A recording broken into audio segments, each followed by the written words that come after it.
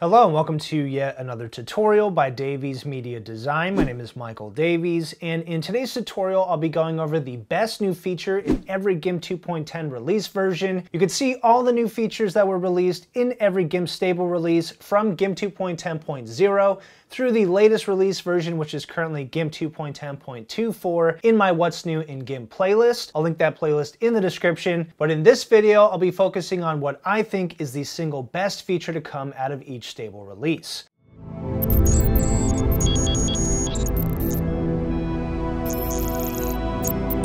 Before I get into that, don't forget to check out my website at daviesmediadesign.com. As always, I have tons of free software video tutorials on here as well as help articles, so definitely check that out. You can enroll in my GIMP 2.10 masterclass from beginner to pro photo editing on Udemy, and you can get more content by becoming a DMD premium member. I'll include a link to this as well as all the relevant links from this tutorial in the description of the video. So let's get started. GIMP 2.10.0, which arrived in April 2018, was the first new major GIMP release version version in eight years. It took GIMP to a whole new level by introducing tons of new features and performance improvements, including raw image integration, the introduction of GEGL filters and the MyPaint Brush tool, new transform tools, layer group masks, and much more. However, the feature that really stands out to me that was released in this version is the full integration search feature. If you've watched my tutorials, you know I use this feature all the time, and honestly, it's hard to remember what GIMP was like before it was introduced, but the full integration search feature, also known as the search actions feature. You hit the forward slash key on your keyboard and type a word or phrase in the search bar. GIMP then quickly performs a search of all filters, tools, layers, compositions, and any other features in GIMP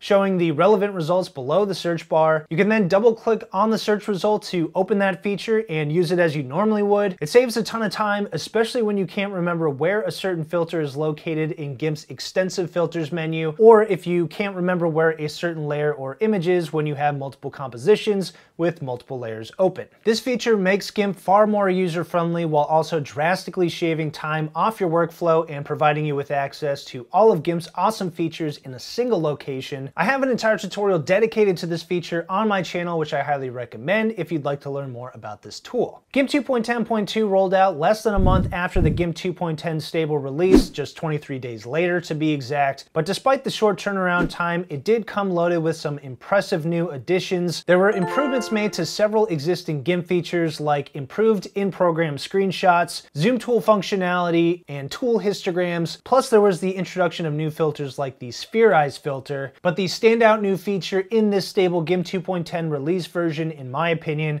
was the introduction of the new recursive transform filter. This filter, which I've used in a few recent tutorials, allows you to perform multiple or repeat transformations to a layer using the unified transform tool handles. I cover this filter extensively in a dedicated tutorial and also demonstrate an application of it in my Create the Droste Effect in GIMP tutorial. The next stable release version of GIMP, GIMP 2.10.4, was one of the lighter stable release versions in terms of new features. Though this program did upgrade the backend of GIMP through various performance improvements, one great feature that did come from this summer 2018 release is the Straighten feature, which is located inside the Measure tool. As the name suggests, this filter allows you to straighten your images, and you can do this by tracing a horizon line with the Measure tool then clicking the straighten button in the tool options, GIMP then rotates your image to correct the crooked horizon. The result is a much more accurate method for straightening out crooked images, especially when the image has a discernible horizon. GIMP followed up the fairly quiet GIMP 2.10.4 release just a month and a half later with a release version that includes one of my favorite filters of all time, the long shadow filter. This filter, which arrived with GIMP 2.10.6, makes it super easy to not only create flat artwork like you see in icon design or web design, but to also make your text appear 3D with just a few slider adjustments. The filter even works with shapes, making rectangles look like cubes or circles look like cylinders. Plus, as you may expect, the long shadow filter allows you to add realistic shadows of any length and in any direction from text or objects. I've demonstrated this filter in many tutorials on my channel throughout the years, including my top 5 text effects in GIMP video. GIMP 2.10.8, which came out November 2018, saw tons of useful performance improvements and bug fixes for various tools, but its most useful contribution to the GIMP legacy was the introduction of the hard edge gradient. Before this feature, gradients could only change colors gradually, creating a fuzzy edge at the point where one color transitioned to the other. However, with the hard edge gradient feature, GIMP can now abruptly change from one gradient color to the next. In other words, the point at which the colors change is denoted by a hard edge. This new feature has opened new possibilities for the gradient tool, creating unique effects, especially when used for painting backgrounds or overlaying hard edge gradients on top of images with layer modes. Up next is GIMP 2.10.10, which was released in April 2019 and saw many ingenious and innovative new features. This release version introduced the long-awaited smart colorization tool for quickly coloring in or painting line art, as well as a clever layer selection tool that makes it easy to find a single layer in the layers panel when working with tons of layers in a composition using the Alt middle click shortcut. But the most useful feature that came out of this version is the sample merged option for the heal and clone tools. What makes this seemingly insignificant feature so useful is that it essentially makes these tools non-destructive. This is because the sample merged option allows you to select pixels across your entire composition, not just your active layer, and heal or clone those pixels on a totally separate layer. In other words, you no longer need to perform your healing directly on your image. You can now paint these pixels on a separate blank layer and can subsequently make edits to or delete that layer at any time during your workflow without affecting the original image. The GIMP team then released GIMP 2.10.12 in June of 2019 with improvements or updates made to legacy tools like the Free Select tool and Curves tool. It also introduced a really awesome new feature for easily creating seamless patterns known as the offset filter, which is going to be the filter we want to highlight for this version. This filter, which I've covered in my how to create seamless patterns in GIMP tutorial,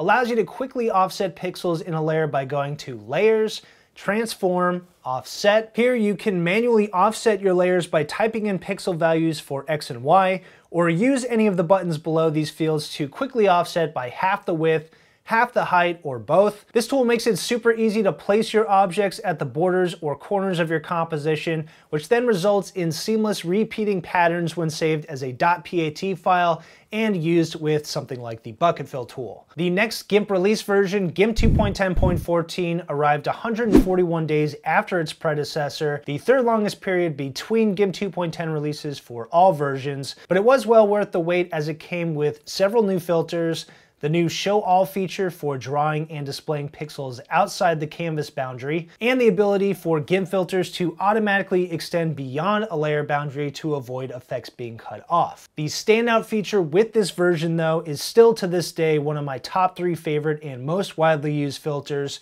the newsprint filter. This filter, which can be accessed by going to Filters, Distorts, Newsprint, creates the popular halftone effect seen in comic books pop art, and newspapers. It essentially converts all colors to circles, diamonds, or lines depending on the pattern type you select, and is a great tool for making dynamic backgrounds in black and white or full color. I've used this filter in many tutorials, including my Create a Halftone Comic Speech Bubble tutorial, as well as my How to Create a Halftone Effect in GIMP tutorial. So after GIMP 2.10.16 was scrapped due to a critical bug that was deemed too cumbersome to overcome, GIMP 2.10.18 was released in early 2020 with notable UI updates like grouped and reordered tools, a new icon theme, updates to the tool sliders, and highlighted docking areas for repositioning dockable dialogues. There were many other new features and performance improvements added to this version, but my favorite was the introduction of the 3D Transform tool. This tool, which I did refer to as possibly the greatest GIMP tool of all time in the original What's New in GIMP 2.10.18 tutorial,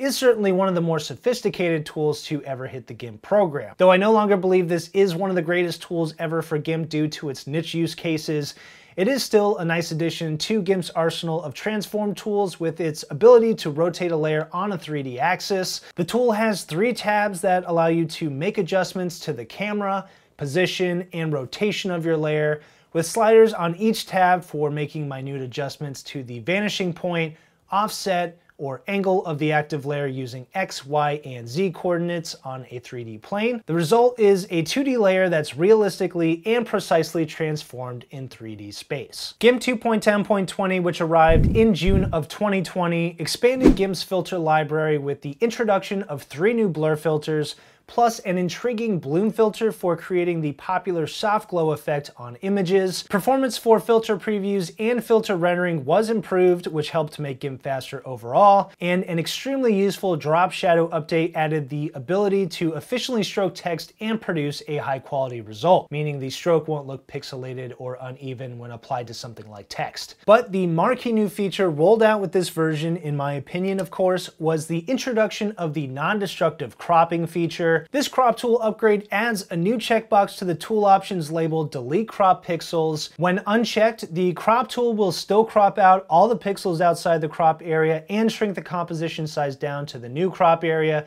but it won't totally delete those cropped pixels. As I covered in more detail in my GIMP's new non-destructive crop tool tutorial, the original pixels in your composition can be restored by going to Image, Fit Canvas to Layers. With this new non-destructive cropping feature, you can undo the crop without having to undo all the other actions you performed on your composition. GIMP 2.10.22, released in late 2020, is known as the file formats release because it saw a ton of new updates to existing file formats as well as the introduction of support for new file formats. As a result, this new release version was certainly far less flashy than previous GIMP release versions. That being said though, there were some very crucial file format updates made in this version that should help pave the way for non-destructive and advanced editing features in GIMP 3.0. The most important file format update in this version is the improved HEIF support HEIF, which stands for High Efficiency Image Format, is a next-gen file format that combines the best properties of JPEGs and GIFs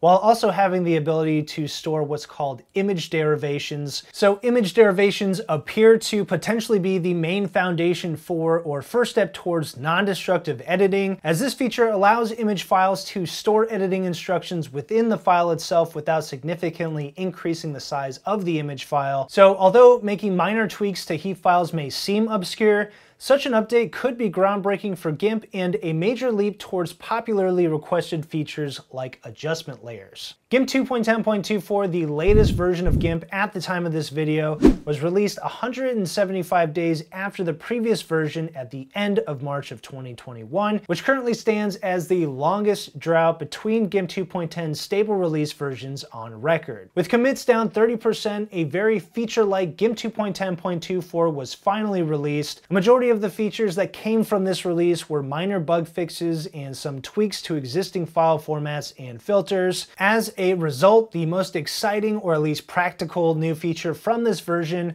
was the introduction of snapping your mouse to guides and paths outside the main canvas boundary. The prior behavior for this feature is that your mouse would not snap to a guide or path when the location of the snapping was outside the canvas boundary. This made it hard to draw straight lines that went outside the boundary, thus producing inaccurate lines. If we're being totally honest, this type of feature should be a footnote in a major software release, but due to the circumstances, including GIMP being shorthanded on developers while splitting time and effort on GIMP 3.0's development, this ended up being the best feature to come out of GIMP 2.10.24. So yeah, this list of best features to come out of every GIMP 2.10 stable release version kind of ended on a flat note. So I do want to add one more piece of good news, and that is that GIMP has already given us a glimpse into some of its incredible upcoming features for GIMP 3.0. Some of the most notable features include the new Paint Select tool, which might end up being like the foreground select tool on steroids, multi-layer selection, which will allow you to select multiple layers simultaneously and not just a single layer, as is currently the case, Placing guides outside the canvas area, which right now they just disappear if you do that. The GIMP plugin extensions manager will be introduced, which is going to allow users to upload their own extensions and other users can then download those extensions to their GIMP and much more. And I think what this tells us is that GIMP developers see the huge implications of getting 3.0 out there to the world and thus they are focused on making this happen sooner rather than later. All right, that's it for this tutorial. Hopefully you liked it. If you did, don't forget to like this video, subscribe to my channel, and click the bell icon to be notified each time I have a brand new tutorial. You can check out any of the links to my resources in the description of the video. But thanks for watching, and I'll see you next time.